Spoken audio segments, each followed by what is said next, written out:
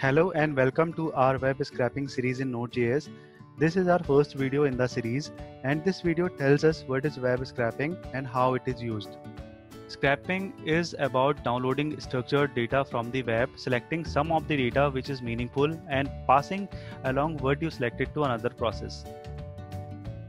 In this video series, you will learn about how to store scrapped data in the, in the database, how to process HTML documents and, and HTTP requests, techniques for selecting and extracting data from websites.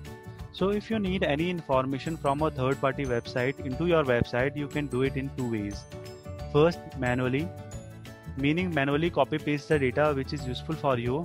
And the good thing is you know that already.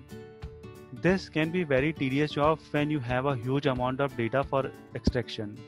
This process can take months or years to be done.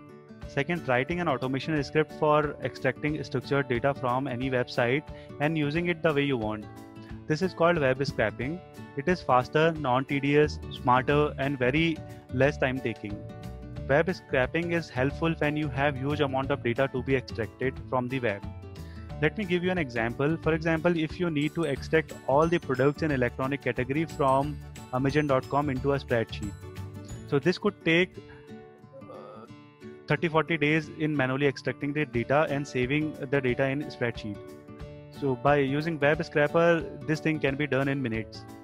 Now you can either write your own script to extract data in any programming language like Node.js, Java, Python, .NET, PHP, etc.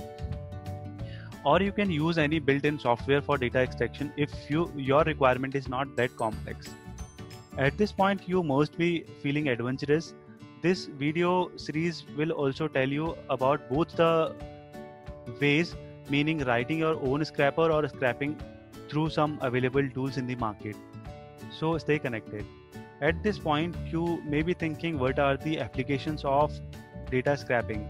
The few usage includes scrapping stock prices.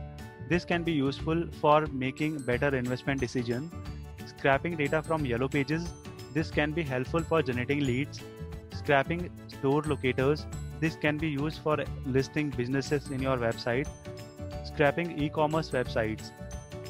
This can be used used for competitive analysis and showing the product details into your own website if you also sell the same products. One more usage of scrapping e-commerce website is for product price prediction or demand prediction. So stay connected for our upcoming videos in this series. Thank you.